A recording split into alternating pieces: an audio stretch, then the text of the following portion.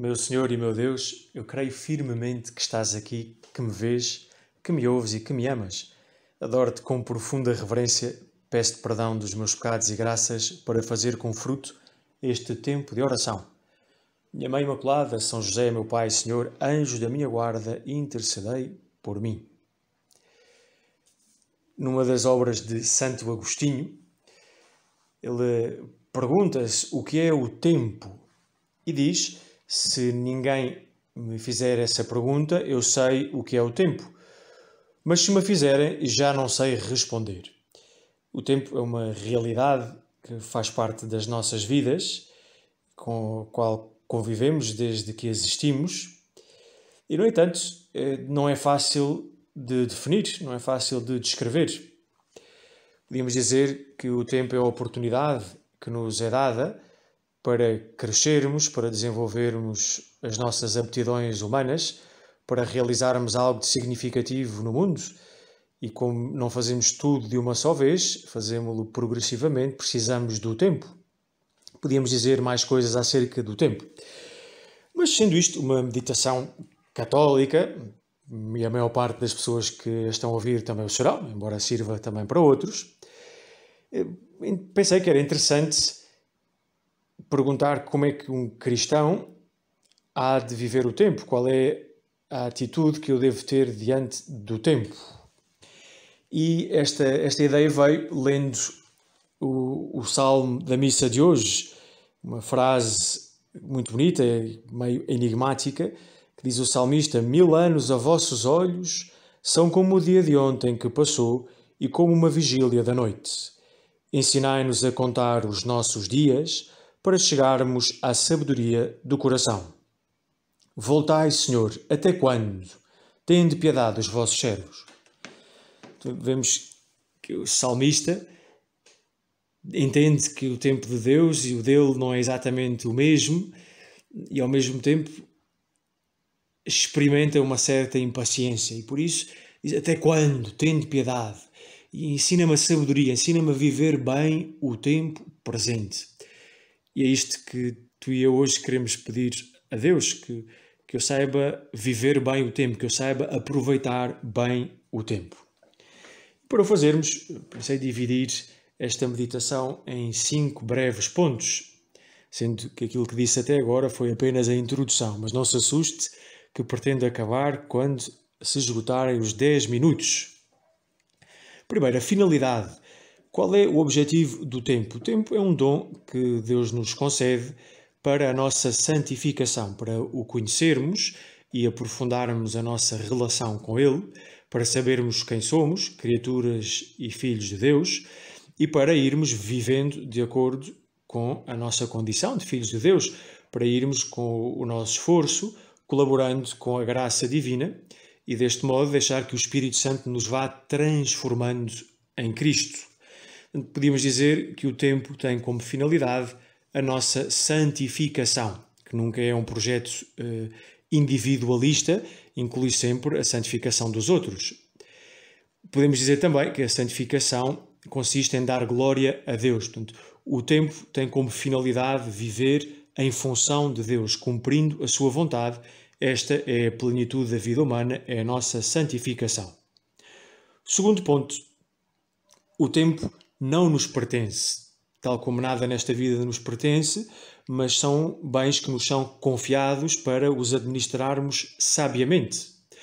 Pois os dias de existência que já tive até esta data aproximo a passos largos do meio século, e os dias que ainda terei pela frente não são meus. As horas do dia de hoje, que já chega perto do fim, não são minhas. Não é meu o tempo, e por isso mesmo não posso fazer dele aquilo que me der na gana. O tempo pertence a Deus. E por isso o que eu quero é, Senhor, o tesouro que me confiaste, estes talentos imensos que me confiaste, e um destes talentos é o tempo, o que queres que eu faça com ele? Portanto, eh, chegamos outra vez à primeira, ao primeiro ponto, que é, sendo o tempo pertence a de Deus, eu devo fazer com o tempo que ele me dá, é que eu muitas vezes chamo o meu tempo, devo fazer aquilo que lhe agrada a ele. Na verdade, esse será o, o melhor uso que eu posso fazer do tempo. Senhor, Ajuda-me a usar bem deste tempo. Ajuda-me a procurar conhecer a tua vontade em cada dia, que eu não me arrependa de nenhum dia que tenha vivido, que nenhum dia tenha sido um desperdício, que não possa dizer se no fim da minha vida que aqueles dias ou aqueles anos mais valia nunca ter vivido aqueles anos, mas que cada dia eu procuro vivê-lo com a máxima intensidade, amando-te, cumprindo a tua vontade, amando e servindo os meus irmãos. Terceiro ponto, o tempo é breve. Jesus diz-nos no Evangelho, também da missa de hoje, vigiai porque não sabeis em que dia virá o Senhor. Compreendei isto, se o dono da casa soubesse a que horas da noite viria o ladrão, estaria vigilante e não deixaria arrombar a casa. Por isso estai vós também preparados, porque na hora em que menos pensais, virá o Filho do Homem. O tempo que me resta viver, não sei se serão mais 50 anos, mais 20, mais 2 anos, mais 2 horas. Eu espero que sejam ainda bastantes anos, mas, mas não sei, porque as pessoas que morreram jovens também esperavam viver ainda muitos anos, sobretudo se morreram repentinamente. O que eu sei é que o tempo é breve e é limitado.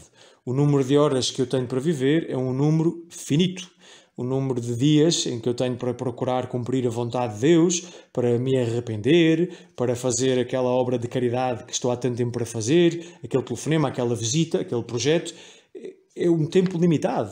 Portanto, e eu tenho de aproveitá-lo, aproveitá-lo bem, sabendo que no fim vou ter de dar contas a Deus. Isto é muito importante.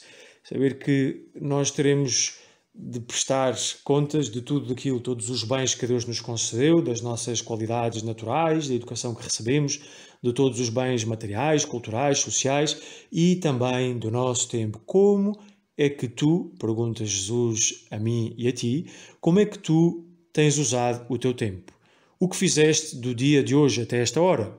Ou o que fizeste do dia de ontem, se estás a ouvir esta meditação bem cedo pela manhã? O que é que estás a fazer com o teu tempo? terás de prestar contas. Vive bem o teu dia, vive bem o tempo, aproveita bem o teu tempo e não terás de arrepender-te quando ele chegar ao fim. Quarto ponto, é preciso percebermos que Deus tem também o tempo dele, que se chama eternidade. Para Deus, o passado, o presente e o futuro são um eterno presente. E Deus tem também os seus timings. Nós podemos querer eh, aprender tudo daquela disciplina, daquela cadeira em poucas horas, podemos querer crescer um palmo quando somos crianças, queremos que isto aconteça em poucos dias, ou podemos ganhar músculos em poucas idas ao ginásio, ou uh, criar as virtudes que são próprias dos cristãos em pouco tempo, mas sabemos que as coisas não acontecem assim, que os ritmos humanos os ritmos da natureza pois obedecem umas outras leis que não são a da nossa vontade e que temos de ter paciência connosco, paciência com o tempo que demoramos a adquirir as virtudes ou aprender a tal matéria. E também temos de ter muita paciência com os tempos de Deus. Deus sabe quando é o momento oportuno para todas as coisas, para responder às nossas orações e o modo de o fazer, e por isso devemos lembrar-nos de que Deus é Senhor do tempo e que Ele sabe sempre quando é o momento oportuno e que gera o tempo da melhor maneira. E por isso, descansarmos em Deus. Deus não fez aquilo que tu querias, Deus não fez aquela transformação que tu esperavas na tua vida, pois não te apoquentes, não te aflijas, continua a rezar, procura ser-lhe fiel todos os dias e não, te preocupes porque Deus estará a fazer aquilo que mais convém. Por último, sabermos que uh, o tempo que é gasto nesta vida de muitas maneiras. Há tempo para rezar, tempo para estudar, tempo para trabalhar, tempo para descansar, tempo para se divertir, tempo para rir, tempo para chorar. Tem um livro na Bíblia que começa desta maneira, o livro do Coelet, mas que o tempo conduz-nos à perfeição, que vai para além do tempo, que se chama eternidade. Por isso, se nos aflige que o tempo seja passageiro e que teremos, teremos de deixar este mundo dentro de alguns anos ou de alguns dias, não nos aflijamos porque depois espera-nos a eternidade, onde há a plenitude da vida, a plenitude do amor, a plenitude da perfeição. E por isso nós ambicionamos uh, viver bem o tempo presente, cumprindo a vontade de Deus em cada momento, para chegarmos à eternidade e podermos viver na felicidade que nunca mais terá fim. Faltam 10 segundos para o fim desta meditação, dos 10 minutos. Dou-te graças, meu Deus, pelos bons propósitos, afetos e inspirações que me comunicaste neste tempo de oração. Peço-te ajuda para os pôr em prática. Minha Mãe Imaculada, São José, meu Pai e Senhor, anjo da minha guarda, intercedei por mim.